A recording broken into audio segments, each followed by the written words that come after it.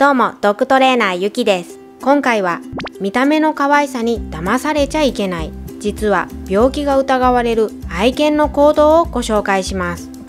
歩く、座る、食べるなど、普通に暮らしているだけで可愛いのが愛犬という存在ですが、そんな愛犬の行動の中には、可愛いだけで終わらせてはいけない病気のサインが疑われるものがあるんです。そこで今回は見た目の可愛さに騙されちゃいけない病気が疑われる愛犬の行動を5つご紹介します。愛犬から発信されているサインを見落とさないように一緒に確認しましょう。病気が疑われる愛犬の行動。1つ目は頭をブルブル振る。水に濡れたわけでもないのに愛犬が急に頭をブルブル振ることはありませんか？耳の中に風が吹きつけたりホコリが入ったムズムズ感から頭を振ることもありますが1日に何度も頭を振るのは外耳炎など耳のトラブルが疑われます。炎症によるかゆみや耳垢が溜まった違和感が気になりすっきりさせたくて何度も頭を振ってしまうんです。他にも壁に耳をつけて歩いたり耳の中を足でしつこくかいたりいつも片側に頭を傾けているなどの様子も見られます。無理に耳掃除すると耳垢を押し込んだり耳の中を傷つけたりかえって症状を悪化させるので愛犬がしきりに頭を振る場合は早めに動物病院で適切な処置を受けましょう。病気が疑われる愛犬の行動。2つ目はお尻歩き。愛犬が地面にお尻をつけたままずりずり歩く姿に見覚えはありませんか？お尻を引きずりながらひょこひょこと歩く姿は可愛く思えますが実はこれも危険な行動です。なぜなら犬がお尻歩きをするのは肛門の左右にある肛門腺にフェロモンなど匂いの元である分泌液が溜まっているサインだからです。通常肛門腺は排泄時にうんちと一緒に排出されますが小型犬や高齢犬は排出される量が少なく肛門腺が溜まりやすいため定期的に絞り出す必要があります。肛門腺を定期的に絞らずにいると分泌液の溜まった袋が破裂して愛犬は猛烈な痛みを味わうことになります。そのためお尻歩きやお尻を気にする仕草を見かけたら肛門腺が溜まっていないか必ず確認しましょう。肛門腺を絞るペースは月1回が目安ですが体質によって溜まりやすい愛犬もいます。お尻の左右にある肛門腺の膨らみを確認して膨らみを感じたら絞ってあげてくださいね。病気が疑われる愛犬の行動。3つ目は祈りのポーズ。前足を伸ばして上半身を床につけたままお尻を高く上げるこのポーズ。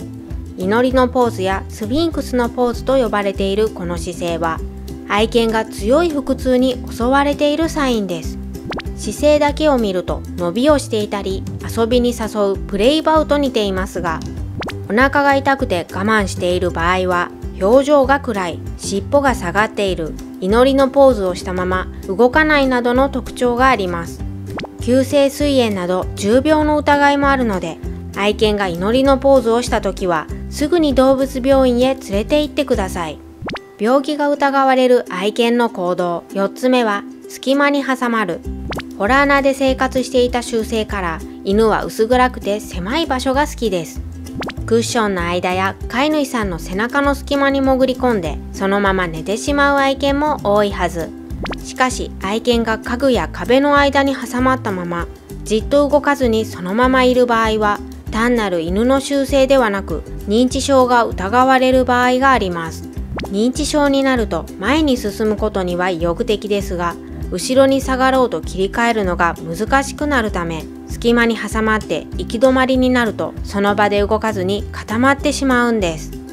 認知症の症状は他にも同じところをぐるぐる歩く。呼びかけに無反応。昼夜逆転の生活。抑揚のない声で泣き続けるなどがあります。これらの症状が見られたら一度獣医さんに相談しましょう。病気が疑われる愛犬の行動。5つ目はスキップ。散歩中に愛犬がスキップするようにぴょんと後ろ足で跳ねることはありませんか？一見散歩を楽しんでいるように見えますが何度も繰り返す場合は要注意。膝のお皿が関節から外れる。膝蓋骨脱臼。通称パテラという関節疾患を発症している可能性があります。パテラはトイプードルやチワワなど小型犬の発症が圧倒的に多くあるペット保険の調査ではトイプードルの7頭に1頭がパテラの発症が確認されているほど身近な病気です。気づかずに放置すると症状がどんどん進行して最悪の場合は自力で歩くことが困難になる場合もあります。散歩中のスキップ歩行中に急に座り込む片足を浮かせたまま歩くなどの行動が見られた場合はパテラの疑いがないか早めに検査を受けてくださいね。またソファーやベッドから飛び降りると足腰に大きな負担がかかりパテラの発症リスクを高めます。愛犬用のステップをつけて高いところからジャンプしない環境を整えてあげましょ